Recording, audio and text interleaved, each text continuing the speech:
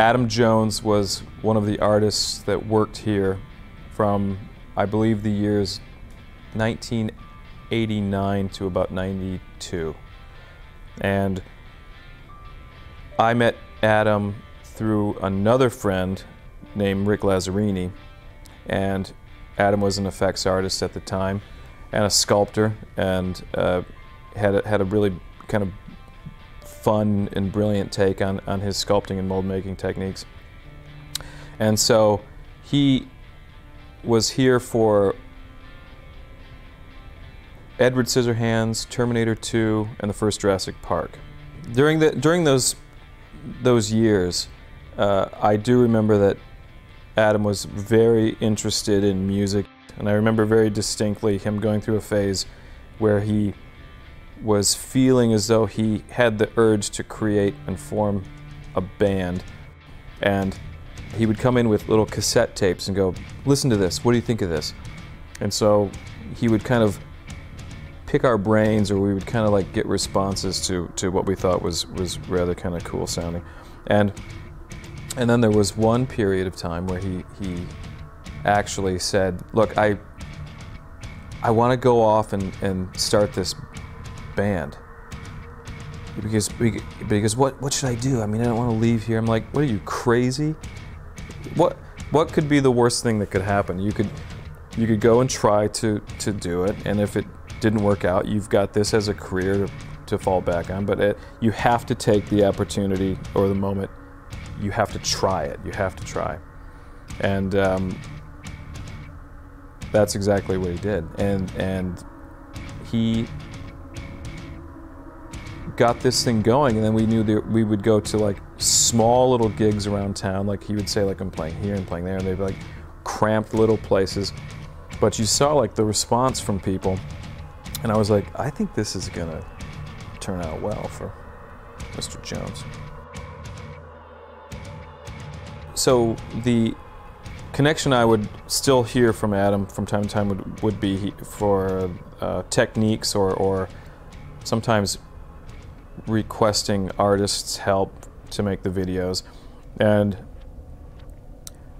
they were definitely, you could tell, absolute sort of uh, works of, of passion and completely, like, extremely ambitious. So, uh, in other words, doing stop motion, doing makeup effects, um, techniques for this or that. So he would generally what would happen is is if he had a, a, technical problem, he would call me up and ask me what he I thought could be uh, accomplished, and I would I would try to help out in that way. But I would I would always find it extremely fascinating because it was another facet. It was a different world because I was stuck in feature films and uh, you know.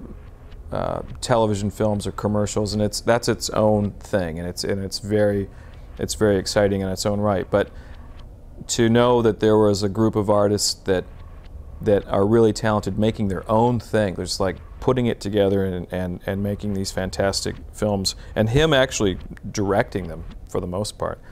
I thought that was really great. So I would do whatever I could.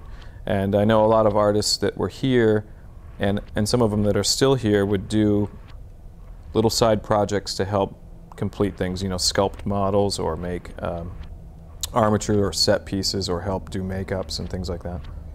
And there are other people outside of here that, that do similar work, like I think Chet Zar is, a, is an effects guy as well.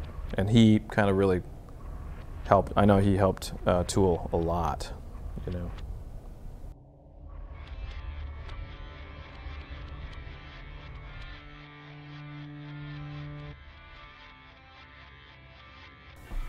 My involvement in this project was uh, through Adam Jones, and uh, he called me to work on this video. We've been working together for 10 years now, maybe.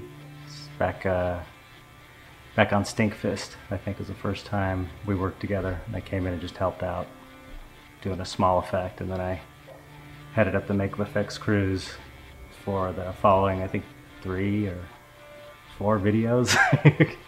been a long time.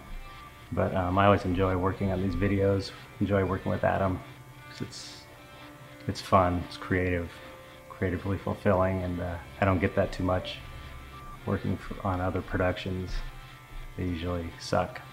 90% of them, but the tool videos are always great creative fun. Well, I met Adam at a makeup effects studio. We were working on something like 1991 maybe, Darkman or Swamp Thing or something, and um, we just hit it off right away. So we have similar tastes. I think there's kind of a makeup effects aesthetic in a way, like a geek factor. People that are fans of genre type movies and stuff, and um, and it goes from bad to I think cool, and I think we both have the cool, you know, the cool feel. Um, at least we both agree on, you know, what's cool and, and what kind of monsters are cool and stuff, and but we both I think are interested in similar fine art as well, like surrealism and and uh, you know visionary psychedelic art, and um, we just hit it off really well together, and uh, we even jammed a couple times before he formed Tool, and um, yeah, I was a, I kind of lost contact with him for years, and then we sort of.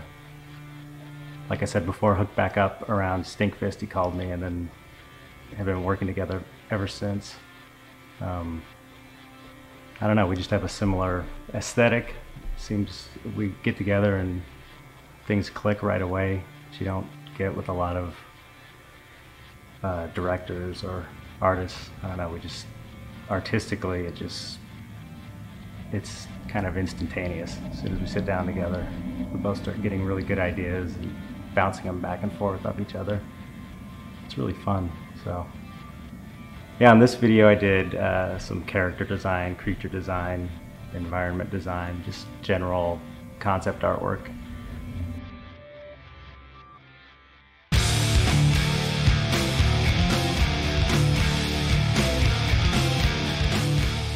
I met Adam and uh, Camilla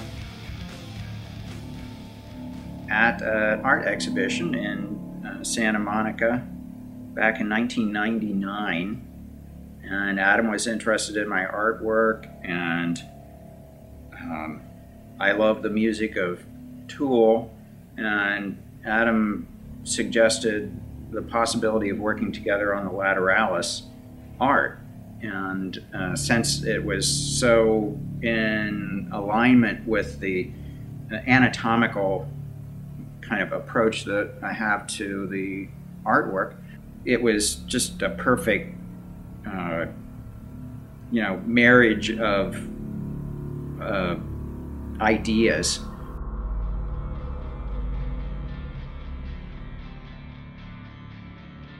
The first video I started working on was Prison Sex, the second video off of the the Undertow record, and uh, uh, you know I I was I took on quite a bit of work you know quite a bit quite a bit of the art uh, on that video but I guess that's what is it five years passed after Undertow when the the, the release of Anima and then uh, you know I was still living in Seattle Seattle and Adam asked me to come down and help uh, produce the the packaging for Anima and the video, the first video was for Stinkfist. And I came down and, you know, took probably like six months to finish, but, you know, the progression of, and the ideas and the, the, just the, the collaborative effort between this confederacy of artists that we assembled really kind of set a precedent for the next, you know, the fo- the videos to come all the way up till to Vicarious. Actually, you know, we we use a lot of the same team, a lot of the same people, um, and I I, I share the the producing with my partner Robin, Robin Breen. Uh, her strengths are my weaknesses, and vice versa.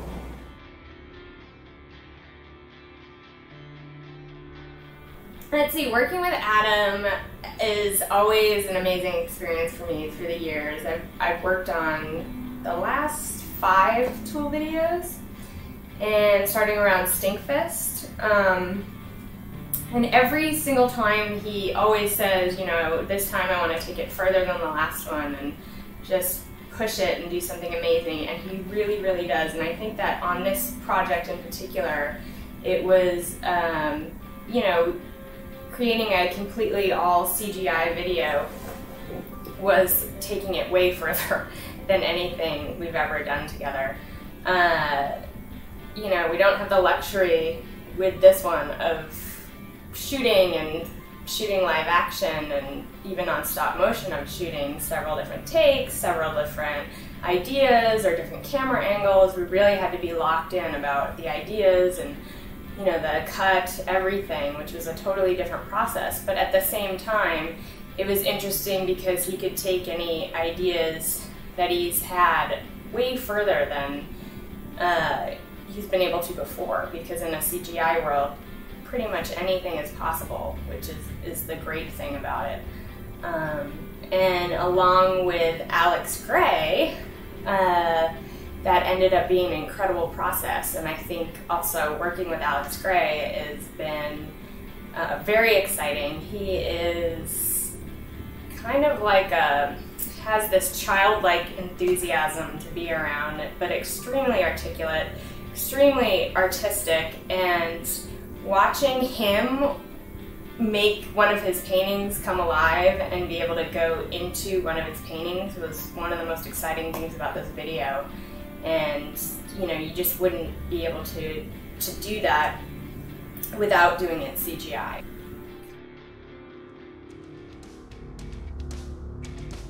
So I uh, first met Adam uh, several years ago on the Schism video. Uh, we were helping him out doing some uh, visual effects for that, since those, you know, obviously those videos are mostly live action and or stop motion. And then uh, since then, become friends with Adam, and we've worked on many of his videos in different print packaging and DVD packaging since then. And then uh, last year, he came to us talking about he wanted to do something different, a fully CG video, which is you know a very ambitious project, especially since Tool songs are of the longer length.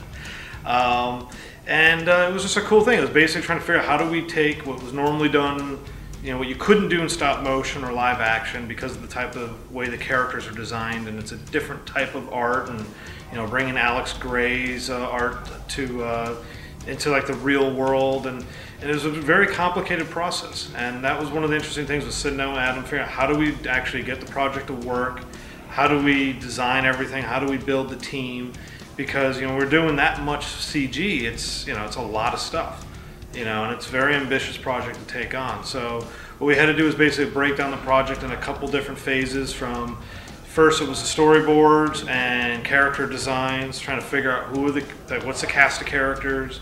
Uh, then we had to start figuring out what was the flow of the video. How much was the X character? How much was the Spectres? How much of the video was going to be the Alex Grey part, and then the digital freakout scene. And then from there, we started cutting in Final Cut, started kind of, you know, bringing the, the project together uh, editorially, while at the same time we were uh, building all the 3D assets for all the characters and creatures. Uh, and then from there, we started also working with a concept uh, designer who was helping work with Adam to figure out like what's the look of the video because that's one of the hard things on a project like this is, is since it's almost pure art we don't you know we're starting with nothing you know, you have absolutely nothing and you're trying to make something out of it. So the question is, at what point do you stop? You know, because eventually you have to kind of aim the compass somewhere and then say, like, this is the direction we want to go, this is where we need to be. And, uh, you know, that's just, that's one of the, the real challenges when you're doing a long, long art piece like this is, you know, trying to get everything focused, keeping it together, you know, figuring out where we need to be, and then, you know, starting to build that uh, basically you know, it's kind of like building a body. You first have to start with the bones, like, you know, what's the rough edit? What's the basic concept and timing? Then you got to start building in all the organs and everything, which would be kind of like the characters, the look of things. And then you have to kind of end with, you know, basically your skin, which is the final look. What's the color correction? How's the, you know, like all the 2D post processing that we do to try to give the, uh, the video a different type of style.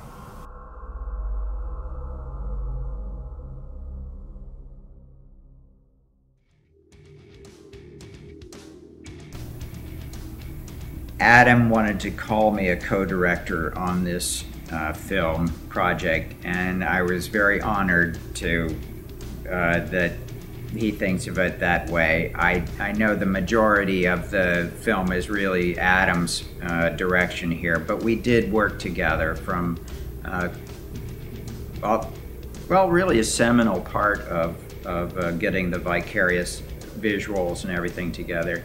I'll never forget the times we spent together just like seemed like 24 hours uh, a day working on little drawings and and saying, "Hey, what do you think of this?" You know, and then it's like, "Wow, that's cool," you know, and then uh, and we were trying to resolve stuff about, well, how do we work with the bug, you know, and how, what does that look like, and so we were doing lots of drawings of, of that, and it was really amazingly fun to work together, and it was grueling, it was really exciting Uh, Adam was really introducing me to the process of doing the whole storyboard and how do you create something like this.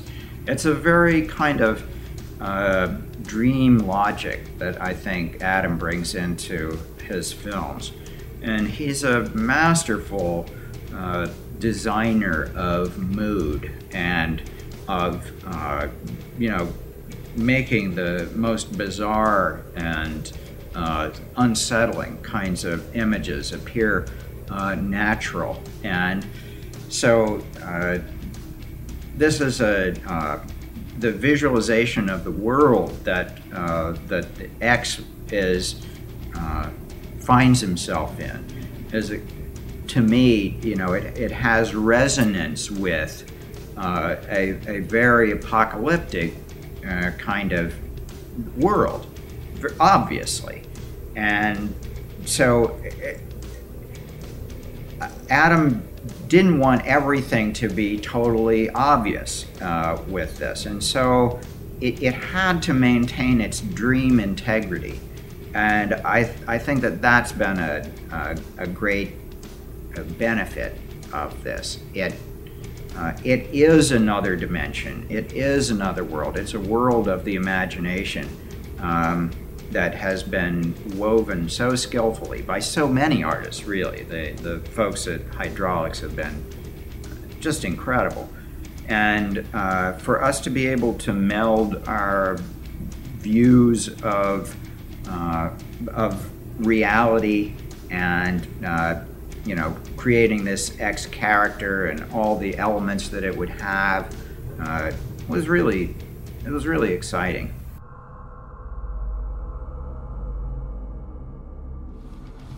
So I started originally working on the video at a very early stage uh, when it was just, um, you know, storyboards. Adam kind of came to me with uh, these little thumbnail storyboards that he put together, these incredibly clear and meticulous illustrations of what he wanted, like what he visualized. Um, and I basically, my, my responsibility was to come up with uh, concepts that would kind of establish a visual look based off of what you know he visioned or what he had in mind. On top of the concept work, I'm also uh, working on a matte painting for the end of the music video. Uh, it's basically a realistic representation of one of Alex Grey's paintings. Of um, uh, it's like kind of like a shot of the Earth from space, looking down, and it shows this um, kind of eye inside the clouds. Um, and there's kind of this, you know, swirling storm, kind of uh, fits with the whole spiral motif. I came into the process pretty much from the beginning because uh, with something, uh, with a, a, CG project like this, it always involves kind of uh, editing something together before any of the work really gets uh, the main body of work gets done, which is planning in the planning phase. Um, in commercials, they call it an animatic, um, and typically they'll take storyboards, which have been around for years and years, and they do this for movies and uh, videos too, to basically take uh, the duration of the time that you know the program is going to be, which is the length of the song, and then time out all the storyboards um, to that length and, and just to get kind of a basic idea of, of how it's going to feel and what sort of shots are going to work next to each other and um, what are the moments that you have to hit in the song it was interesting with this particular video because Adam Jones um, wanted specifically not to be too constrained to the to the rhythm and uh, musical changes of the song. In fact, the first thing I did when I sat down with the, with the song and started cutting the animatic or the storyboards was that I mapped out all of the beats, which is usually the, fir- the first thing that I do when I'm cutting to music. Mapped out all the beats and all the major um, sections of the song. Um, because I tend to cut very rhythmically and musically in anything that I do. And and I showed Adam, uh, you know, so this is, I kind of made this floor plan. I uh, have, I dropped markers on the timeline wherever there's a, there's a, a beat.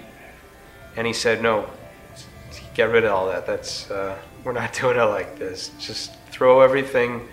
Yeah, he specifically said, uh, take everything you know about cutting a music video and throw it out because we're going to cut this like a film first and foremost, and then uh, and then we'll we'll bring the music into it, but it has to work visually first, and then you know there are a few points, there are a few key moments in this in the music that that have to uh, you know have to coincide with the visuals, um, and he actually he kind of he did me the the great favor of uh, lending me a booklet of, of, DVDs of short films and things that he that he collected over the years, um, and said, "Just go home and watch all these." And this is what I, this is what we're going for with the video. So I did, and some of them were really bizarre. This uh, this, this tool video, the reason it, uh, it took so long is that people don't understand that eight minutes of CG is actually a long, involved process because uh, it is it, when you say like a whole full CG video, you basically have to build like everything that's there. You know, like in other music videos or movies and stuff like that, you get like a, at least some, plates, like a guy that's like photographed like a street or something like that. So that's half the work done. But here we'd have to build the background, the characters, and everything. Uh, so I guess from step one to like you know ten, um, thank goodness uh, you know Adam Jones had these great storyboards planned out because that's like the first step. You know, planning all your shots, having all the compositions and whatnot you got to build the guys. So the bug, X, Spectre, the Carbon Destructor, um, the environments, the mountains, the desert. Then you got to like uh, put some marionette like rigs in them, so us animators can move the guys around. And uh, then, you know, of course, we got to animate it. And that's a whole process in itself because sometimes the movement doesn't look right, and then Adam Jones has got to prove that. And then we go on to the next stage after that, which is like uh, we got our lighters and renders. We put like the final look and final touches on how how cool you know the, uh, the textures of X and um, making sure all the layers of his ribs and his skin come through. And then the final final stage is a 2D uh, composition, uh, compositing actually. And then we get it's, it's, almost like a guy who's doing like a full collage. So he takes all our elements, uh, the mountains, the, the, the elements of, of, of X, the carbon structure, putting the background, foreground, the clouds, um, all, the, all the minutia, and then uh, putting it all together. So uh, you know, 30 seconds of, of, this video would probably take, you know, like a, probably a month or two. And you just uh, com- combine that for a total of like eight minutes, and it just it just becomes a very long, involved process, and it involves a lot of people to collaborate with each other. So I, I think that's that's majority of the bulk of where all the work goes for a full CG video.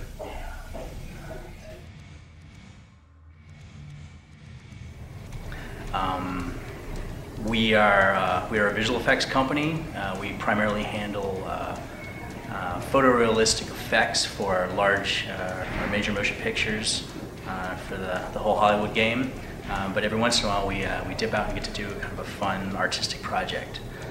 this is definitely one of those where it's it's not necessarily photorealistic. It's definitely a stylized looking video, but it's it's allowed us to just kind of you know can jump back into more of our artistic roots as opposed to uh, some more of our technical ones that we have to uh, deal with uh, currently with some of our current jobs, um, which definitely has made it a lot more fun of a project, uh, and also a little more challenging because you know as opposed to you know trying to recreate something that you know what it looks like, now trying to you know dip into someone's psyche and trying to pull out the uh, artistic vision. Um, which is at certain times very abstract but very particular.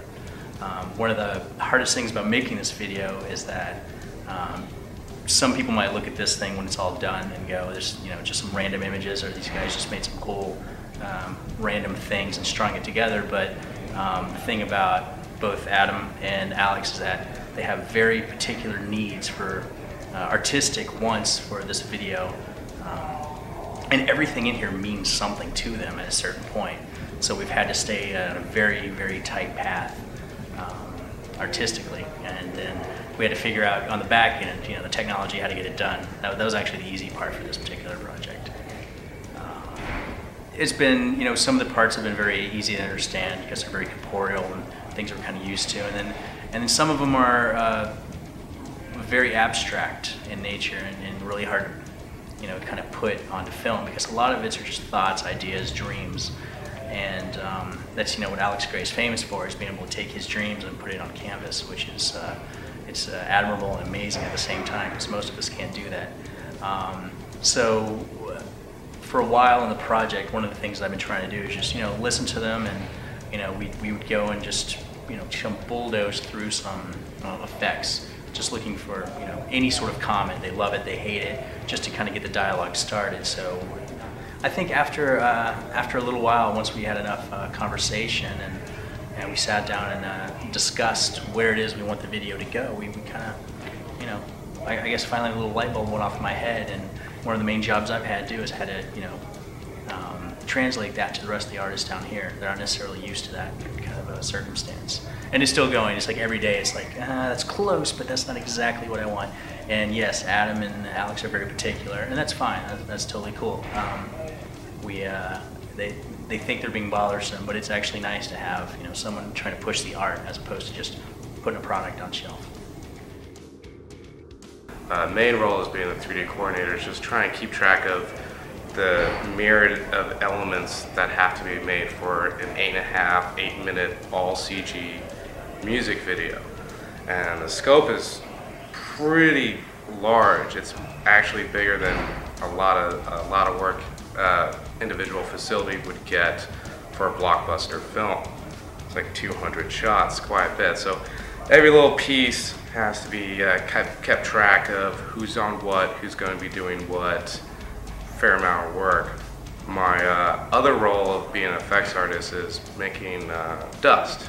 Most of the video takes place in the desert, and you have this very large uh, character, I'll call it, uh, called the Carbon Destructor, just a three tentacle creature grinding through the desert landscape and something that large, everything it touches just explodes and just big pyroclastic dust. And uh, that's basically uh, what I've been creating for the video. So uh, it's been a uh, quite a bit of work for, for myself and for a lot of other people here. It's, uh, it's very nice to see it uh, all come together right now. Uh, as as animation supervisor, what I'm doing um, basically is just uh, trying to make everything move as cool as possible. Um, anything that's got any motion at all in, in the video is kind of, you know, had a particular way that it needed to look. And um, if I wasn't working on it myself, I had a team of animators that I was kind of overseeing and um, making sure that we were all kind of had the same idea about how this thing should, how everything in the video should move. As we went through the the way that the, the main character is moving, um, X is moving through the video, uh, we kind of we're trying to get this frailty and kind of uh, um, kind of stop motiony feel through through his movement and uh, just trying to figure that out because typically um, when you're working with computer animation, everything is smooth and lovely and everything works in this very smooth way. And we're kind of going against uh, what's normal work procedure and making this thing kind of tick. And it's got this like nervous kind of shaking. And in addition to that we kind of wanted to uh, add this layer of stop motion feel throughout the video. Um, but at the same time kind of create a new a new thing that's both um, you know using the stop motion stop motion technique and kind of comparing it with the CGI stuff. 山田義也と言います、えーモデラーで、えー今回のビデオで、えーほとんどのキャラクターを全部のキャラクターを、えー僕が作りました、えーマヤっていうソフトを使って、えーベースのキャラクターを作って、えー G ブラシというソフトで、えーたくさんディテールをつけて、えーきました。えーアダムとアレックスと一緒に、えーいろいろ考えながらデザインもしながらやっていったのがすごい楽しくて、えーとてもいい経験になりました、えー特に好きなのは、えーネット・オブ・ビーイングという、えーアレックスがデザインした、えー絵を 3D に変えるという作業はとても、えーインタレスティングな作業でした、えーまあアダムが持ってくるデザインっていうのはすごい、独特の、デザインで、作ってて本当に楽しかったです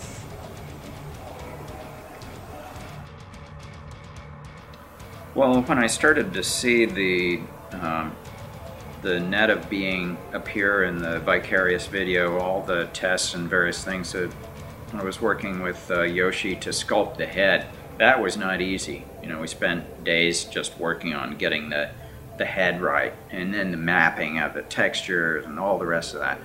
But once we got a head that could then, that was like the a piece of the grid, and you just like multiplied that head and you created the entire net, and that was really, you know, astonishing to see that it it works and that uh, the kind of uh, interconnectedness of this mesh of beings is really possible to visualize, and I can't wait to sculpt it. Well, the net of being, I think, is an outgrowth of a series of paintings that I've been working on that have this beings made out of a grid of fire and eyes kind of universal beings because they have these little cosmic windows inside where galaxies spiral. And it occurred to me on an ayahuasca journey down in Brazil, and uh, which is a basically a psychedelic tea, and I just saw. Uh, uh, infinitely interconnected meshwork of godheads, and it seemed like every other kind of being and thing was part of this uh, network, and it was beautiful because the heads uh, went right into uh, the heads on the upper and lower levels. It was infinite uh, expanse like this, and then it was an infinite expanse omnidirectionally. And because it's a network of uh, kind of cosmic dust and consciousness, that's kind of my symbol of consciousness is the eyes and the flames, then it's infinite consciousness that encompasses the entire cosmos. That was the, I think, the symbol that it's pointing toward as uh, a kind of reach for the mind. And uh, so it still presented a huge challenge, you know, to visualize. And I spent like five months trying to get my pictures to have any reference point with the vision experience that I had. But uh, it's come closer and closer to it, and I always imagine, you know, floating around inside of this space because uh, it was a actual dimension, and to be able to visualize it, uh, for Adam to have seen this, uh, you know, this world just like I did when he saw the drawing, it, and to then pull off this, you know, computer animated world of the net of being is, I'm, I'm just really honored and I'm incredibly happy that, that we can make this happen.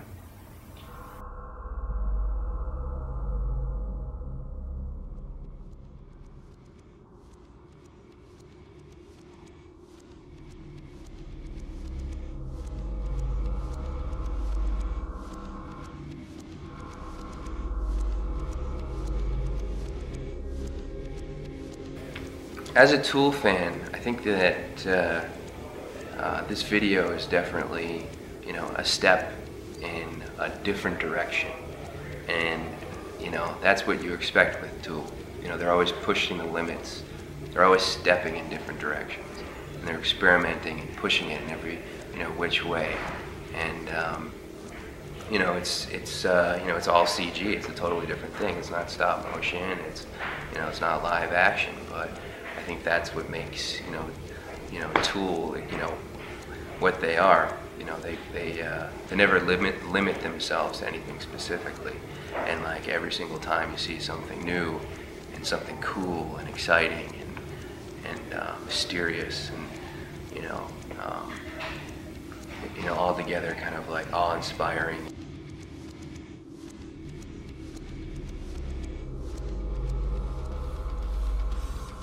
because Vicarious is such, to me, it, it's one of the toughest songs on uh, 10,000 Days. I have to say it. You know, when I heard it, it was like certainly one of the most beautiful, but also one of the most uh, painful songs because it really deals with uh, something we don't necessarily want to face in ourselves, you know, which is uh, that uh, culturally, we, just like the Roman civilization of old, watch the death spectacle and seem to be removed from it. The real um, position there, though, is that we're obviously not disconnected from it. We are not disconnected from the world dying.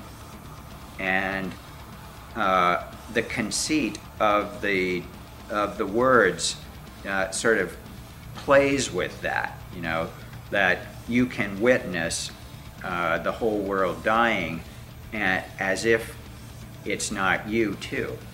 And I think that the implications there, uh, as, as every tool uh, work does, none of it's totally obvious.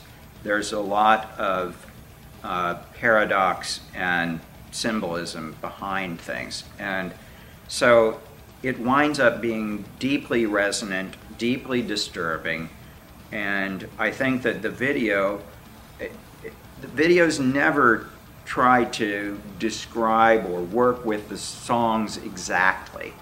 But there is, like I said, a dream logic that this, I believe, uh, gets the point of both the tragic loss of life uh, on Earth and the, the powers of, of destruction and violence that everywhere surround us, the mesmerizing quality of the media, and uh, this world of interconnectedness that lies behind uh, the scenes as well. So I think it's an epic song. Uh, it's uh, an amazing opportunity to have worked with Adam to try and visualize uh, this, bring it to a, uh, a level of vision that can be shared with the world.